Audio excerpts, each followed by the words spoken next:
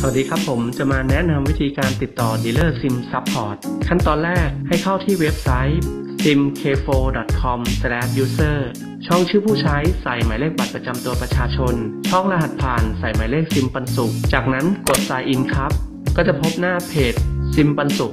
ให้ทำการเลื่อนหน้าจอลงด้านล่างสุด จากนั้นจะเจอเมนูคำว่า Contact ให้เลือกคำว่า Contact ครับ จะปรากฏหน้า Line ID at dealer sim support ให้ทำการกดแชทจากนั้นเริ่มพิมพ์รายละเอียดสอบถามข้อมูลได้เลยครับผม